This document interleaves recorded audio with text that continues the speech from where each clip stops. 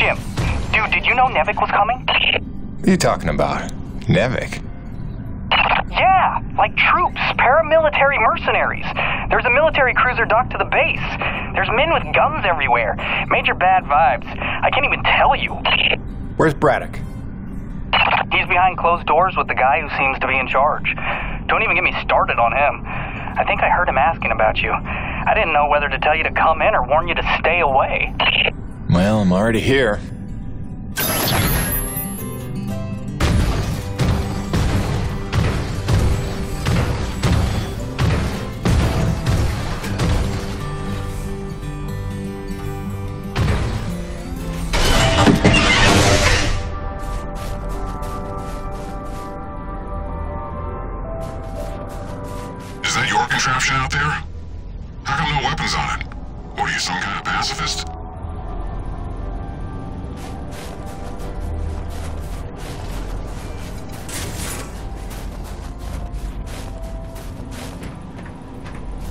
We're going around in circles. I'm here now. We're investigating, and we'll reassess the situation once all the facts are in hand. Ah, Peyton, is it? Thank you for coming.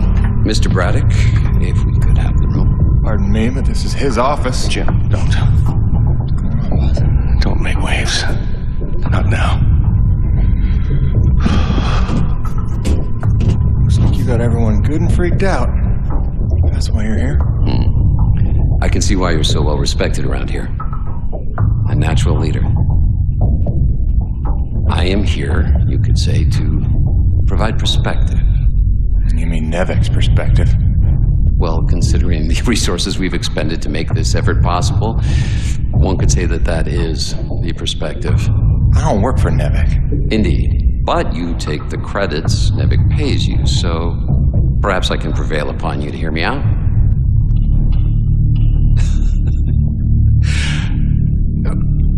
I'm sure that you'll come to realize I'm not here to dismantle Braddock's operation, but to make sure that it counts for something. Why are you here? Your family, correct? I understand that motivation better than you think. So tell me, is there some other priority? Some new agenda you place ahead of your family's safety? Something more important to you now than ever seeing them again? Hmm? Of course not. Let me tell you why I'm here. I'm here for the human race. Not just for my son's future, but for all the children of Earth to escape extinction. And there is nothing and no one that I will allow to get in my way. That's all.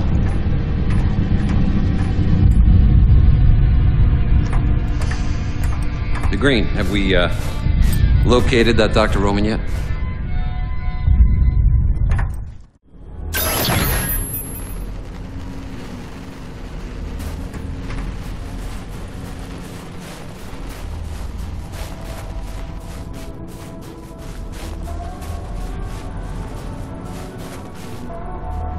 Please, my experiments are in a delicate phase.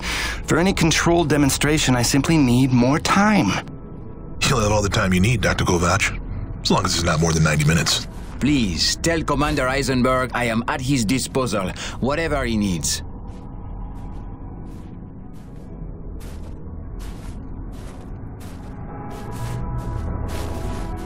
Is there some problem?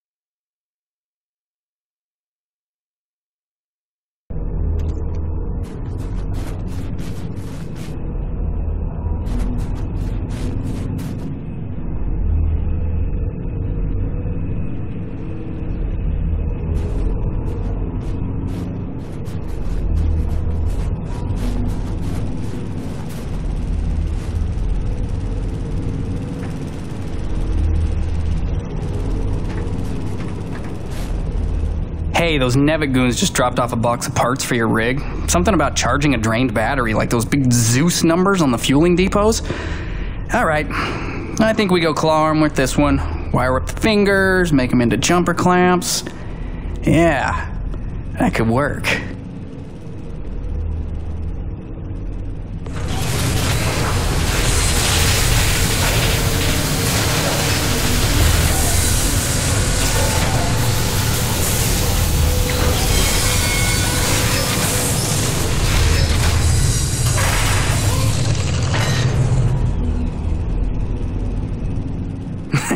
And then I cranked it to the nines with some Primo booster packs. I lifted off some old T190s. Pack rat power for the win, right? so check it. Your claw arm is juiced. Pump it, and you can charge batteries in a flash. Got a feeling it would charbroil an Akrid in a few seconds too. But you let me know, okay? Above and beyond as always, kid. Oh, and I'm calling it the shock jumper. Now get out there and shock jump some things. I want the Roche begging for one, so I can tell him to stuff it.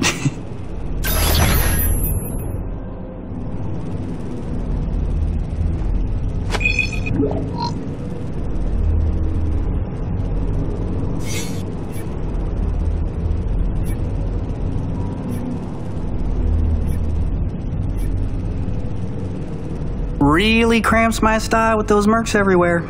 If they don't clear out soon, I might have to strike out to make my fortune. Build a cabin out by Shack's Peak, settle down, maybe build myself a nice robot girl, one with freckles, excellent bone structure. Mm.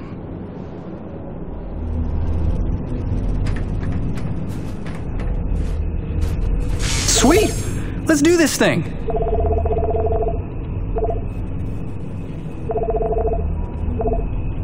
Always a pleasure, my man.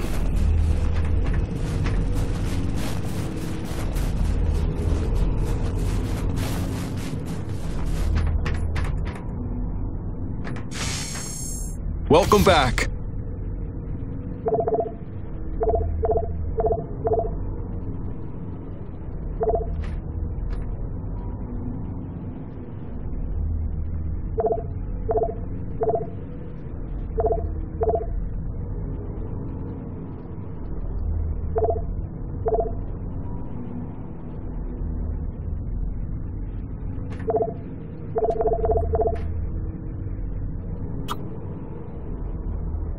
See now, that's how I know you're a connoisseur.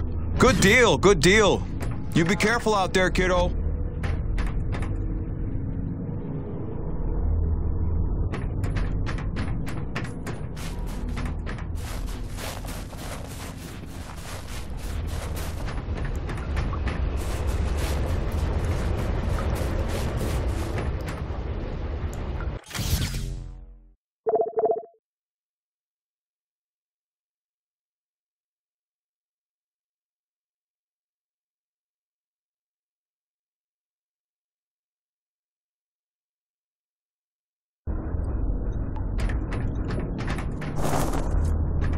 So what you're telling me is the ship across from the hangar is being kept from falling into the ravine by these moorings? It's more complicated than that, but the moorings are supporting a substantial amount of the superstructure. So, theoretically, if you cut the moorings at B-26, K-22, and L-9, the ship would collapse under its own weight and drop into the ravine? Well, something like that. Interesting. Uh, why are you asking? Oh, no reason. Just curious.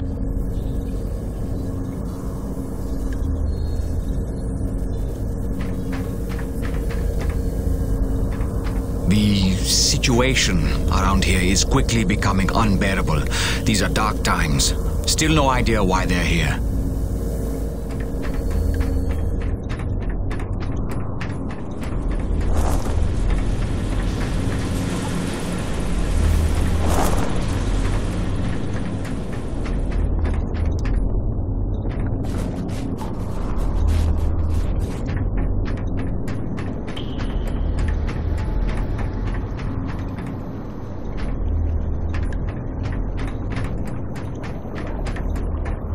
Ranta soldiers took his guitar away on account of it being an unnecessary distraction.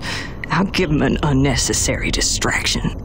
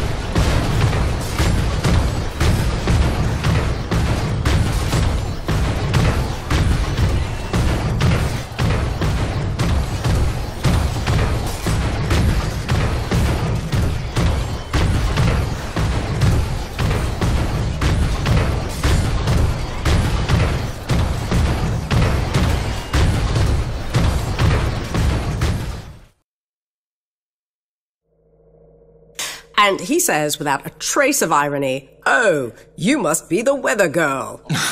Oh. So I'm staring daggers. He knows he stepped in it, but he's too daft to figure out why. Oh, sorry, weather woman? Finally, I say, well, my doctorate's in atmospheric sciences, so yeah, I'm the bleeding weather girl, thanks. I'm dry, poor me.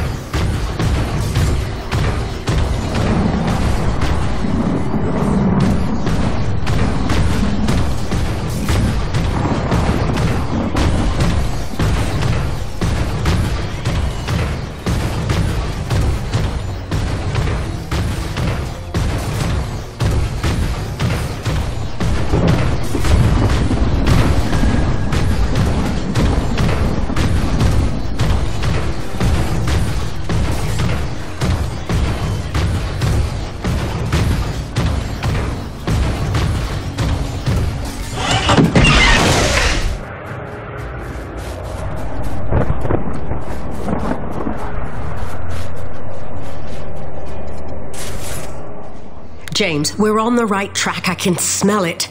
I've triangulated the approach vectors of dozens of storms, and I think I've narrowed down their likely direction of origin. And we're right about those storm Akrid. There's every indication they're carriers of the pure stuff as well. Ah, sure. But look, Doc, I gotta tell you. Braddock's out at Coronis. NEVEC paramilitary pulled rank, benched him. The new commandant is bad news.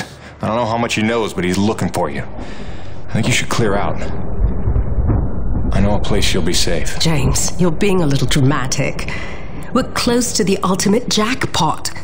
With this knowledge, we could hold all the cards, do you see? Please trust me on this.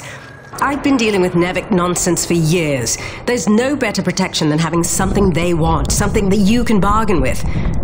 I'll watch my back, I promise. Now listen, I cooked up some subterrestrial resonance samplers.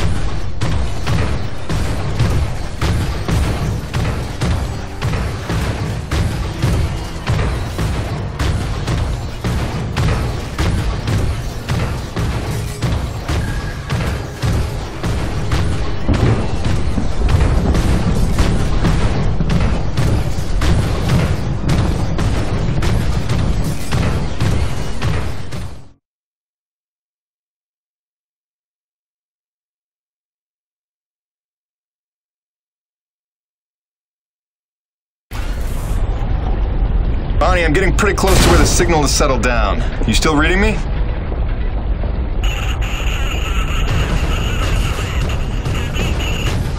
Damn, I was afraid of that. Always a bitch getting any reception past Shack's Peak. I'll have to fill you in when I get back. Jim out.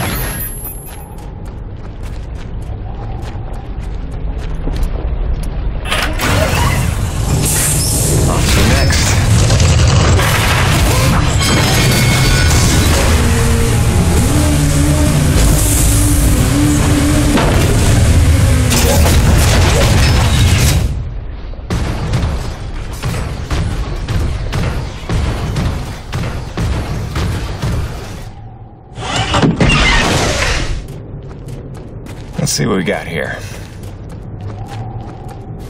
Where does this go?